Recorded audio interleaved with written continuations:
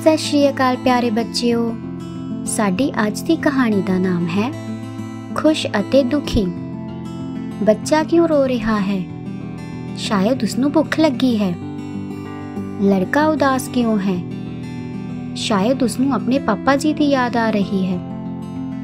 ਲੜਕੀ ਖੁਸ਼ ਕਿਉਂ ਹੈ? ਕਿਉਂਕਿ ਉਹ ਦੌੜ ਵਿੱਚ ਪਹਿਲੇ ਨੰਬਰ ਤੇ ਆਈ ਹੈ। ਬਜ਼ੁਰਗ ਆਦਮੀ ਕਿਉਂ ਹੱਸ ਰਹੇ ਹਨ?